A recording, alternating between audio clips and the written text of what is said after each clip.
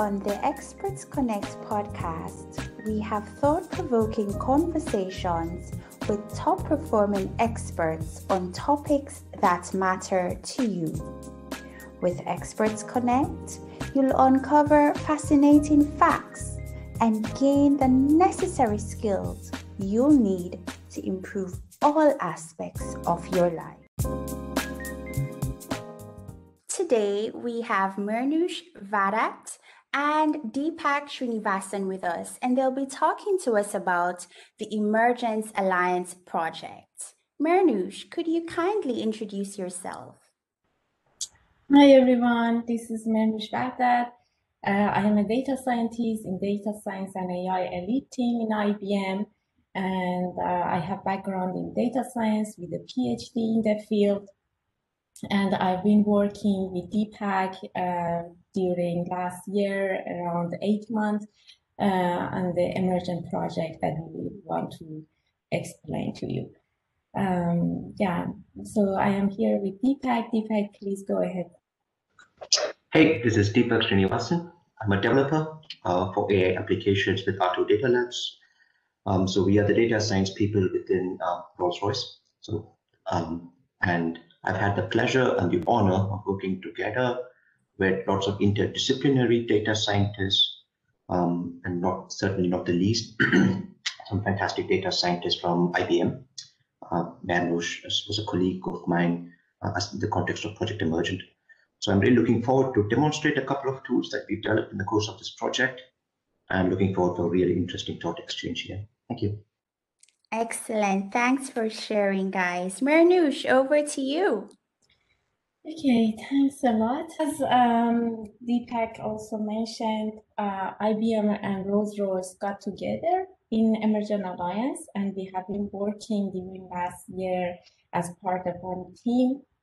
Really great uh, data scientists from both Rolls-Royce and IBM got together, uh, and uh, we have been working as part of this um, Emergent Alliance that is a non-for-profit organization um, and trying to address the challenges of COVID-19. So when uh, Emergent Alliance was established, many companies uh, joined this um, initiative like IBM, Rolls-Royce, Microsoft, Google, and many other companies to bring resources, data, uh, technology uh, for um, coping with the challenges of COVID-19 through methods of data science. As part of this project, our aim was to supply governments with insight that can be used for supporting their decision making of COVID-19 countermeasures.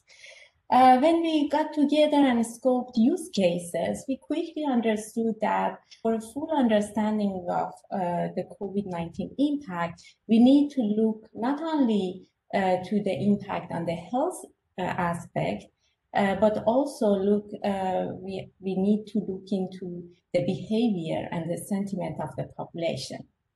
And then we also looked at how um, this impacted on the economy. So uh, building on these three main work streams, we worked uh, in many use cases. So here you can see how uh, the use cases that we developed are connected. Uh, for instance, uh, we have worked on several use cases around the health um, with blue color. Then uh, we analyze how the health um, impacted the behavior and, for instance, the policies that the government imposed. Um, on the top, you can see some use cases around the uh, mobility, the government measures, and how these impacted the uh, sentiment of the population, but looking into the media and social media, and all how it impacted on the economy. For all of uh, these use cases, uh, we, uh, we built uh, pipelines in IBM Cloud Pak for Data and using Cognos Analytics for develop, developing dashboards. And because we were dealing with dynamic data sources, and as we know, COVID data is changing every day, we needed to uh, build end-to-end pipeline that can um, ingest the daily data and uh, building uh, and updating the um, the analysis pipeline and uh, improve the dashboards and update the dashboards. We also built um, some knowledge management tools to inform the users about the analysis of our um, uh, our use cases. For instance, building a chatbot or a data repository uh, and so on to uh, let the user know better about these results. So starting from uh, the health use cases, we try to understand how to assess the COVID risk in a regional level. We try to um, compose a predicted risk index that is uh, indicating the riskiness of um, regions um, in terms of the risk in uh, health, and this is based on a short-term prediction uh, model. This work was extended um, by uh, by clustering, uh, by building a, a, spatial temporal clustering of uh, COVID disease spread and understanding what are the uh, COVID, for instance, hot spots or cold spots within UK. Then we looked into uh, how governments are reacting, how they are imposing lockdown measures. Uh, and uh, for that, we um, we detected clusters of COVID-19 lockdown measures uh, to see how different governments are reacting similarly and get a more comparative view. Um, in addition to all these, uh, we also built a library of scenarios and a data labeling tool that uh, gives the user uh, the chance to view all these data sources and understand better, label them for further analytics processes. Moving into the behavioral analysis, we try to understand how people change behavior and their sentiment during the pandemic. We focused on uh, the mobility, build a mobility estimator that predicts mobility for the next uh, nine days, given uh, a set of lockdown measures. We also looked into the airport restrictions and retrieved information on country-specific regulations, and we, we built dashboards to inform the user uh, on, the, on this information. Deepak will show you a demo of that. Then uh, we looked into how the tourism industry uh, have been impacted, how people um, change behavior uh, regarding the tourism, also uh, how the sentiment uh, of the population have been affected by looking into the news um, and media content. For instance, uh, understanding how the topics that are discussed in the media have been changing over time, or in social media, uh, understanding how people are uh, being affected on their mental health or their reactions toward vaccine. Uh, then uh, with all these, we try to also understand how and when uh, we will economically recover from COVID-19 by building an analytic model, uh, analytical model of the economy and looking into how different proxies um, have uh, can be translated to shock in um, COVID uh, to different industries and how this shock in in a specific industry have been um, propagated to toward the whole industry. And we have built an app uh, that uh, we will show you a demo. So I'd like to show you just some examples of the dashboards that we have created. For instance, on the top, you can see screenshots of our emergent risk index dashboard. Uh, the user can select the region, a country, and in regional level, uh, can see the risk of um, COVID-19 to health by color. Also, we can see uh, how is the risk in a short-term uh, prediction interval and uh, on the right, you can see the, the prediction model showing also the, the most important factors uh, that are um, that are considered in this prediction model.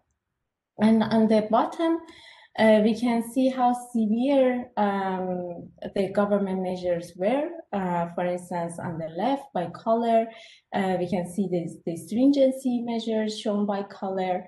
Um, and on the right, the, the the clusters of these COVID um, measures and lockdown measures um, in, for different countries. For instance, the user can select a specific country like France and can see how um, how similar countries uh, to France um, have been reacting by seeing also the cluster states over time the top here, you can see uh, our news analysis dashboard showing the topics and sentiments um, um, of different topics uh, over time.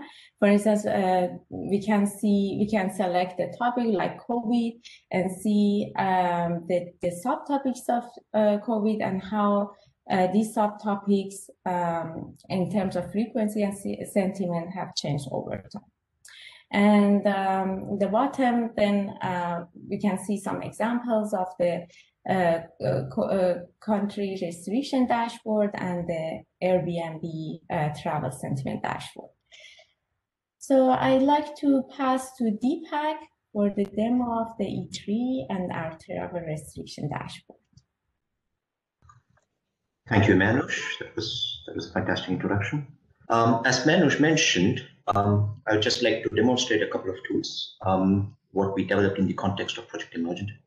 I think some of these tools could be very useful for people uh, like uh, government, um, public servants, government leaders, business leaders, policymakers to understand the impact of COVID on our economy.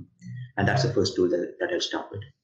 So this is a tool that we call E3, Emergent Economic Engine.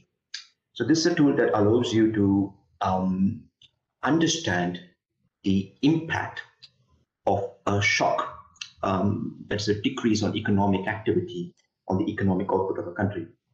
Because one of the most common pictures of the economy, like a mental model, if you will, of the economy that you can have, um, is that you can consider an economy as a system into which um, you've got resources and activity that, that flow in. And as an output is what you get, so-called economic output. And because, as we know, um, due to um, COVID, uh, COVID-19 and the uh, ensuing health scenario, uh, many governments, or almost all governments across the world, had to introduce non-pharmaceutical interventions, lockdown, so to speak, um, which severely curtailed uh, people's activities, um, certainly economic activities. I mean, we all have seen how uh, tourism and restaurant and service activities have been very severely affected. So this tool will give you um, um give you a mechanism or it will it will, it will it's, it's, it's a tool that empowers you to understand how the economic shock will uh, depress the economic output. Um, so on top of the tool, um, so the tool is presented as a web frontend. That is to say, you can just access it over a browser. So we found that it works quite well with Firefox, uh, Edge, um, or with Chrome. Um, and this is a URL of the tool. This is something that you can also uh, find out directly from the Emergent Alliance homepage, where we made um, a few of your, few of our uh, freemium or a few of our uh, freebie products available. So the Emergent Economic Engine here. So you click on that, go to the tool. And the tool is structured so that, such that on the left-hand side is where you, as the user, um, as, as, as a business leader or, or as a government, uh, employee or as, as, as, as a member of informed public, you can state your inputs where you can give your inputs to the system, to the, to, to the tool, right? Um, so you can choose the country. So uh, as, as, an example, I'm just choosing UK and I'm choosing the shock. Um, so for me, a shock is a good proxy or, or a good indicator for uh, economic activity that gets curtailed due to lockdown related measures, right? Um, so I assumed that uh, I would like the simulation to go on for two years. So I'd like to predict how the economy is going to evolve or how much the economy is going to contract for next two years. And I would like the shock of the economic um, economic impact to propagate um, downstream. So an economic network is like a graph where you've got different economic activities that feed off each other and we just assume that the economic activity that goes to the end user propagates downstream, just like a river. Right? And we assume that the economy also has a shock of 20% at the beginning. This is a number that I could get, for example, uh, by looking at economic literature surveys and research, uh, by researching the economic activity uh, surveys from the British government or from economic analytics or economic intelligence agencies. And I assume that the shock goes on from the beginning of 2000 or from the March 2020, which is when uh, I think March 9, 2020 was the date when COVID-19 was recognized as pandemic, uh, till December 2020. So for the calendar year of 2020. So I just give these as the inputs to my simulation engine. And what I get there as an output is the graph uh, that kind of gives you an indication of how much the economic activity gets depressed or how much of the economic output gets depressed, right? So here, for example, I see that the accommodation and food service industry, without knowing any further, um, it, it, it decreases by a certain amount and as well the other industries as well. And it's quite interesting because you are able to see um, the overall output change um, due to this particular shock profile, if you will. And that is of the order of 15% um, over, over two to three years. So we are talking about like five to 6% economic output contraction for about a year, for the next two to three years, right? And with this tool, we've also made um, available a provision where you can model a recovery strategy. Because as you may have noticed in the press, um, you've got governments and you've got um, you've got states and countries that pump in money into the economy uh, with the aim of stimulating economic growth. And that is something that we can also use in the tool. And I just assume that, um, let's say, the British government, again, it's just a toy example, um, that the British government gives an economy-wide stimulus um, of, let's say, uh, of the order of five or seven percent of the overall economy. And then you can kind of see how things get a bit better because initially the economy would have gotten at the end of 2020 uh, would have gotten suppressed, the economic output would have gotten suppressed by 12%. So we're talking about an economic output contraction of 12% without the stimulus measures. But a stimulus measure of the order of 7% uh, would kind of um, ameliorate the situation. It would make the situation from becoming uh, less extreme uh, by arresting the economic output contraction. So the economic output contraction is not of the order of 12%, but it's something like 8.5 to 9 percentage. Um, again, I would like to emphasize that in this tool, um, we made quite a bit of assumptions. For example, we, um, we uh, do not really consider um, some of the high frequency economic activities that could change uh, some of the economic dynamics here. So we made quite a few assumptions here. Um, the objective of the tool is to give you some sort of like an indication. It's to give you some sort of like a bound, if you will, for economic output contraction. Uh, but all the same, it's quite useful because you could kind of use it to um, find out what the worst case economic output contraction could be. Um, so that way, I think this is a pretty useful tool if uh, if you're looking to find out a um, little bit of like a forecasting, approximate forecasting of economic output contraction. Um, the next tool that I would like to uh, kind of quickly demo is uh, the travel restrictions dashboard. Uh, again, um, the uh, ensuing lockdown measures um, have caused uh, the tourism and the travel industry to take quite a hit. I mean, we've all seen uh, cancelled bookings in hotels and, and, and, and flights that have not happened or vacations that have been cancelled and so on, right? Or even business travel that has not happened that much. Um, so with this dashboard, um, again, tourism industry or again, policymakers or business leaders could, could find out um, how is it that reciprocal travel is possible. So again, to take the example, so if you consider Germany here, which is what I've done, um, as of um, end of 2021, the 29th of, Jan 29th of January 2021, um, with this dashboard, you can find out from which countries could you enter Germany without any problem. So for example, um, you could see that you are allowed to enter to Germany from Australia, for example. And some of the countries um, where there might be some restrictions are indicated by um, yellow or amber. So these could indicate that you know there are some restrictions in place, but it depends on a case-by-case basis. So that's actually valid for most of the countries in the world. Um, so you could see um, Australia New Zealand, for example, and, and, and probably Japan as well. Uh, they could enter into Germany uh, without any problem without much of a hazard. And it, the, the, the second part of the dashboard also gives you the other picture. It, it tells you which are the countries you're allowed to travel to or fly to from Germany.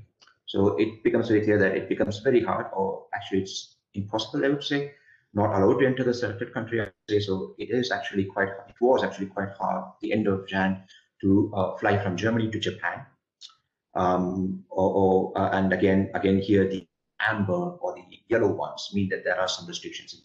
Depends on a case by case basis which is most of the European Union countries. And the interesting part of, of having such a dashboard, of programming such a dashboard, is that you could have the notion of the time. So you could find out how the travel restrictions evolve with time. Um, and that is a common thread, I think, that unites both of these simulation products, uh, the economic engine, uh, emergent economic engine, and travel restrictions dashboard, is that you've got notions of both temporal dynamics, that is how the uh, lockdown and, and, affects the economy or the travel, freedom of travel movement uh, across time, um, and as well across space. So how is it that you know the different countries are kind of talking to each other or interacting with each other across both geographical and across temporal that is to say time regions.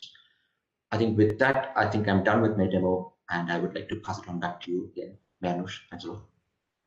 Thanks so much, Deepak, for the really great description of the dashboard and the tool. I'm gonna uh, show you another tool that is developed uh, in our project and available on the Emergent website as well. This is called Cookie Cutter.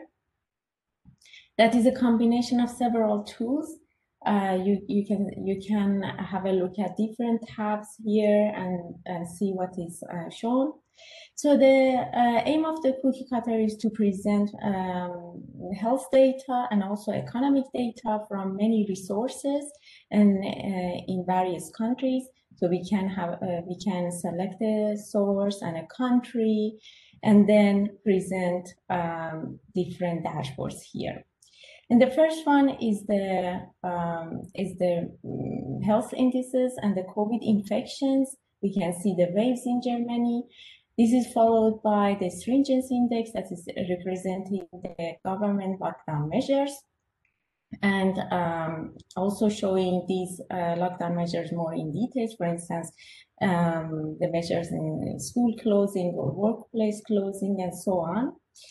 And then we also added um, uh, some dashboards from our analysis, like the clustering uh, of the lockdown measures, how the countries have gone through different processes, and also a, a very um, nice work of Damia Zevering uh, on fitting the distributions here. For instance, you can see uh, how uh, a, a, wave is um, is uh, separated or is um, basically um, represented in several um. And the, uh, the point of um, the cookie cutter is that it, it uh, gives the possibility to the user uh, to um, present the data, to um, to have a good view and a comparative view on different data sets, and also to um, to label them. So uh, as mathematically, it can be hard to, for instance, uh, label uh, the first wave or second wave or a period uh, of the COVID. Uh, here we give the chance to the user to label them and then save this labeling data as wave or call and then um, use it for further machine learning um, analysis. And similarly, we have also uh, here COVID, um, uh, the economic uh, data and uh, different proxies that um, the user can select and then also label as um, shock or recovery and save it for further analysis. This work is um, is developed by Klaus Paul in our project, and uh, yeah, this uh, gives a really good view on different data sets and um, help data scientists for uh, going further on their work. Um, so what we have achieved so far, as we showed you uh, kind of high level with, um, with more details on the demos of the dashboards that uh, are launched already um, on the Emergent website. Um, this work um, and we have uh, we had the chance actually to to use some technologies and especially IBM Cloud Pak for Data and uh, Cognos Analytics that helped us to accelerate the data science development and also um, it um, it facilitated the, collaboration between the different data science teams within Emergent Alliance. Uh, many of these dashboards that we showed you are already built on uh, end-to-end -end pipeline and um, can be extended further with different data sources or for instance when the governments needs need to uh, tune these models to their needs or to, to their uh, regional level that can be easily done. The code is entirely published on GitHub, uh, is open source, and part of these tools, as uh, as we showed you, are already uh, available for public use. Um, and you can see, uh, you can go to this website, the Emergent website, and use these tools. Also, um, Emergent is open for different companies, um, researchers, uh, individuals to come and help, to um, to volunteer, and uh, we uh, basically we, we are working as um, a kind of volunteer basis um, to um, to uh, use data science methods and understand better what's happening in the past and uh, address better the challenges that are facing us in post-COVID world. Uh, so you can also have a look at the website and see how to become a member. Um, yeah, I encourage you uh, to have a look at that.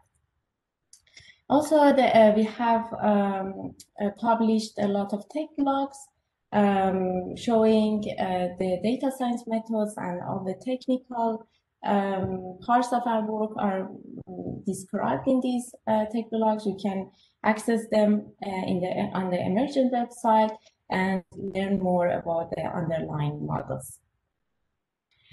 Uh, there have been a lot of uh, people from IBM and Rolls-Royce and also individuals have uh, participated in our project uh, from um, sponsors and managers, um, the IBM data science team and Rolls-Royce data science team that work really in an excellent way uh, with each other.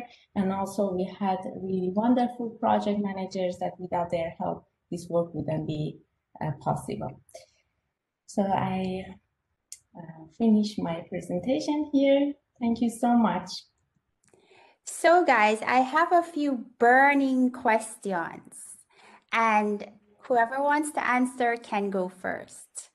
What stories can you tell with the data you have gathered or processed during the Emergent Alliance project? I think for me, when you say like stories, I mean, I think what I have found is that it's not the individual pieces that count. It's not that we have like an individual, like a very powerful story that we that, that we would like to market. But it's just lots of small bits that come together quite nicely. So I would almost visualize it as some sort of like a Lego bricks, uh, or like Lego blocks, you know, the famous ones that kids play. Um, each Lego doesn't doesn't look that impressive, but when you put together and then when you when you kind of build a house, that's how I see it. Um, so each bit of the emergent project has uh, each bit of work that you know that that, that Merno showed, that some of my other fantastic colleague, colleagues have done, not only from IBM, Rolls-Royce, but also other companies, individuals, and so on. Um, it all fits very nicely um, in, into the final canvas. And actually, the the final thing, the whole is some of is, is more than the sum of its parts, if you know what I mean. So in some sense, the name Project Emergent is quite suitable or apt because it really is emergent. So that is there is something emergent that came out of it, you know, and we just put all of individual things together. Um, so that to me is a big thing. So if you ask me what story would I like to say, maybe just it's always that the sum is always greater than the parts. Yeah. Beautiful. Thanks for sharing. And one question that came to mind as I also played along with the tools on your website was who exactly are your target users? Really good question. So um, the main users, I would say, uh, or at least we hope, uh, are the governments and local authorities.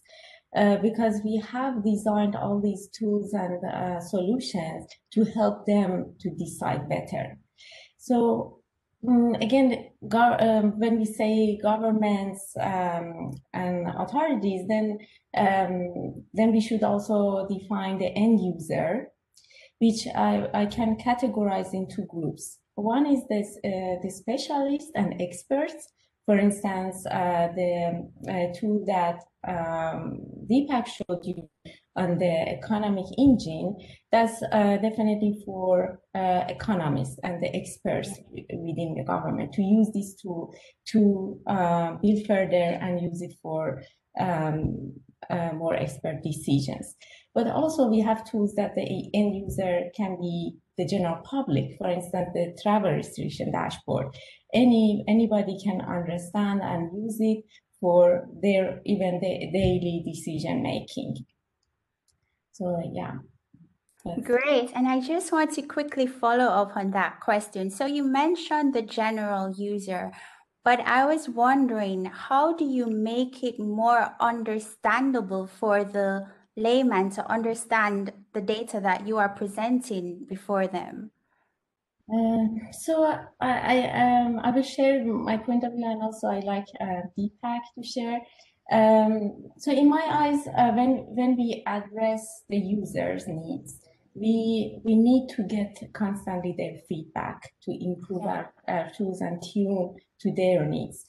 Uh, and that's um, the, the way that we are proceeding is, uh, is to launch these tools for public so they can first access and then uh, hopefully they come back to us with feedback. Yeah. Um, yeah, so that's uh, that's the way that we have uh, thought about and would like to happen. Very good. Deepak, do you have anything to say about this? Uh, actually, Mehrnoosh does make a pretty good point. I can just extend it a little bit further. Um, so I think what the current COVID situation has shown is that that there is increased awareness among the public for data. Yeah. Um, just as a personal anecdote, I mean, um, I mean, uh, my parents or my family members who are not exactly that much into data science or into software, uh, I think they have an increased understanding of data. And you have politicians across the world, for example, uh, that come on television and try to explain why R0 is so important and what why exponential curve really matters. So, you know, you've got phrases like flattening the curve and, you know, exponential curve and so on. So people, I think people have the, even the general public, um, even the non-mathematically inclined general public, if I may use the term, um, yeah. um, has become quite aware of, of, of data and, and, the, and the importance of data in today's world. So that's one. And in that, on that related note, I would encourage as well members of the general public uh, who may not be um, economists or uh, computer scientists or data analysts, doesn't matter. Um, I would really encourage them to also have a little bit of like a playful approach towards data science because sometimes you do make good discoveries or you do get some very interesting insights by just playing around with data. Um, and so that gives you some interesting insights into data that you would have never thought possible. So I would actually encourage everyone to play around with our tools, try to break it a bit in a positive way, of course, and, and just, you know, and then just try to broaden their horizons or, or, or share with us any interesting insights that they may find. Yeah. Beautiful, thank you. And one question with, and these are questions that came to me as I was playing around with your tool. I think it was the travel restrictions one. Um, how often is this data updated? I think it's almost on a daily basis. Okay, okay. Yeah, it's almost on a daily basis, yeah. In as much as the current data becomes available, uh, once in a while you do have outages uh, due to computer system failures and, and, you know some websites are not accessible or not. Uh, but it's it's we try to keep it up, up to date as much as possible. Okay, great. And what have you learned from applying analytics with open data sets? I think again a couple of things which are again a little bit related to the points that I mentioned before. Um, um, one is I think you need to be really um, you need to really approach um, such a such a problem with a diverse interdisciplinary group of people, um, so that you bring the widest and most diverse and, and the broadest possible perspective into the data set, so that you know you don't become an echo chamber. Uh, you kind of you know you, you, you have like almost like a tunnel vision, if you know what I mean. So I think it's absolutely important that, that a team of data scientists uh, that looks at data of such scope and magnitude to be as broad, as interdisciplinary, and to be as diverse as possible. And I mean uh, also diversity with respect to uh, race, age, sex, ethnicity, training, backgrounds, and experience, and all.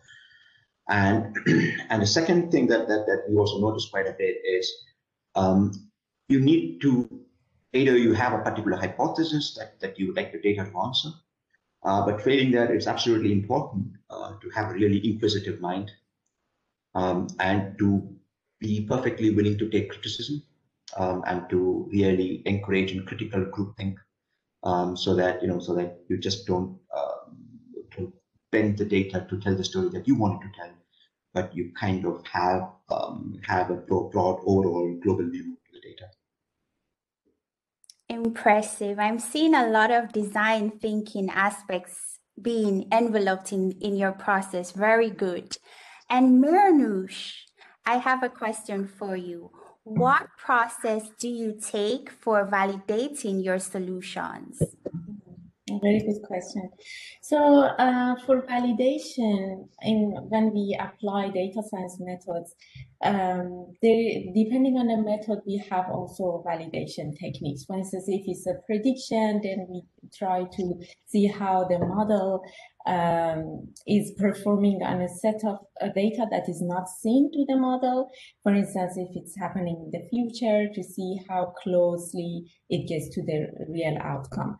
Or for instance, if it's clustering, we would see um, some coherence metrics, how uh, these clusters are well uh, separated and are representing um, like reasonably what, yeah, what if they are matching our expectation.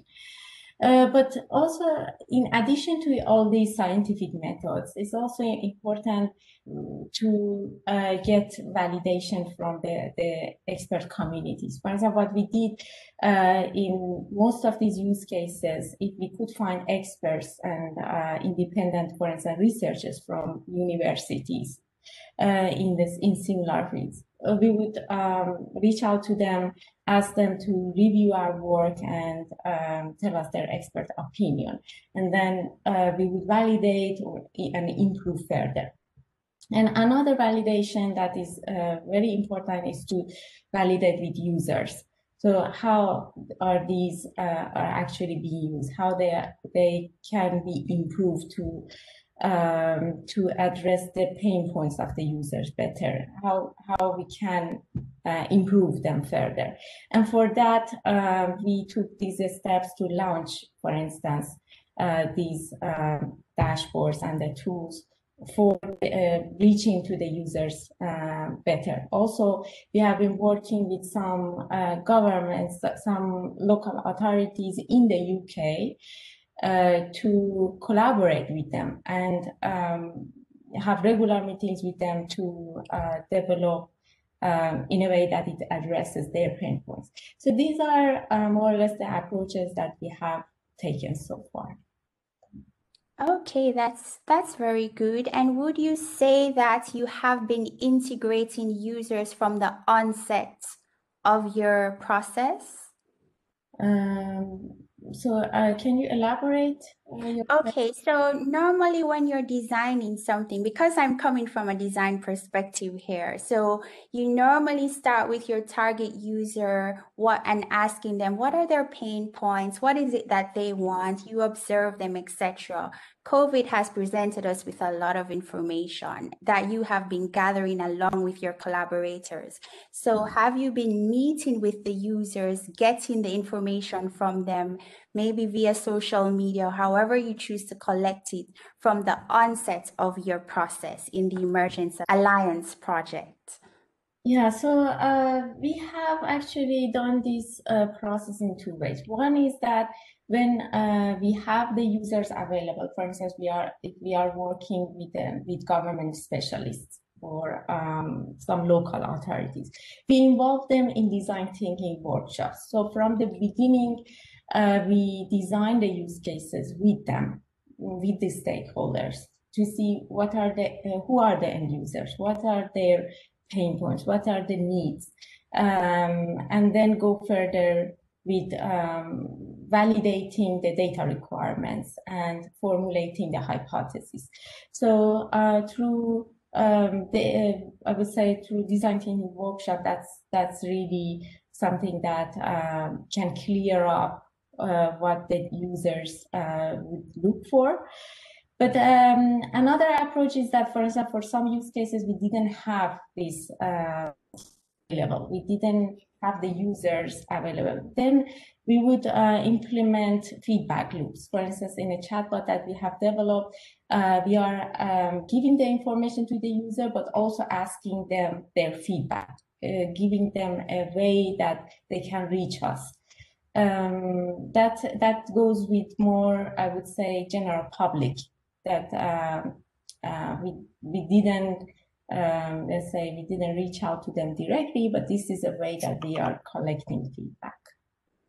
Yes, thank you so much for sharing. And Deepak, I have a question for you.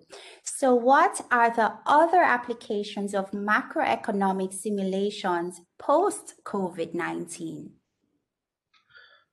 Oh, that's a good one. Um, so, I'm thinking of things like technological shocks. For example, there is an increasing realization um, across, again, governments and, and countries that the post-COVID world will, will or needs to look a little bit different from what it was before. We're talking about a sustainable future, um, more environmentally sustainable alternatives and so on. I think these these changes uh, could also potentially be modeled as as a, as a, as a shock, as a macroeconomic shock formulation tool. Because what we're talking about is um, is the rewiring of parts of the economy. And that is something that we can potentially model with such a tool. And on a related note, again, um, I think also um, large scale structural changes, for example, in the economy, uh, due to perhaps due to sudden regulation of the markets, um, is also something that could potentially be uh, analyzed by such a tool. Thank you so much for sharing. I'm really impressed with the work that you guys are doing. Wow. And how can people get involved in the Emergent Alliance project? Um, so that's um, that's possible through Emergent website. Um, there is a tab for it. Uh, any anybody can go there, uh, register, uh, and give some contact information. Uh, and then emergent would go through those and then contact uh, the individuals or businesses, companies, researchers, universities. It's all is open to for collaboration really to all. Um, and then uh, emergent would would reach out to them to see what is their interest or where they want to really collaborate is it, for instance, if it's a data scientist, then we would see uh, what is their point of interest and what is their background to get the best um, benefit from it. And then um, uh, they would be assigned to a project that they are interested to work with. So that's the yeah that's the process that um, individuals can take to collaborate with Emergent Alliance. Great. You have to be a data scientist to be involved in this project. No, not necessarily. We, uh, I, I think Emergent is looking for many backgrounds. Um, like, for instance, some individuals have joined us as a Scrum Master, as project managers, um, as marketing, for instance, specialists um, or communication. So, um, no, really, uh, I would encourage everyone who has any interest to um, to help the society to recover from COVID-19 to join and see how we can collaborate the best with each other. Okay, thanks for sharing, Mehrnoosh. So thanks for sharing this enlightening information, Mehrnoosh and Deepak. I was really, really impressed by the work that you guys have been doing on the Emergent Alliance project. Thank you so much. Thanks a lot. And please don't hesitate to reach us for any further information. Okay. Thanks a lot. It's been a pleasure. You're welcome. Thanks for tuning in on Experts Connect please head on over to teachsomebody.com and give us an applause. You may share your comments and ask your questions in the comment section. Please subscribe to us on YouTube as well as follow us on Spotify, Apple, and Google Podcasts. You can also follow me on Instagram at Kadian Davis Owusu. Have a lovely rest of the week. Bye.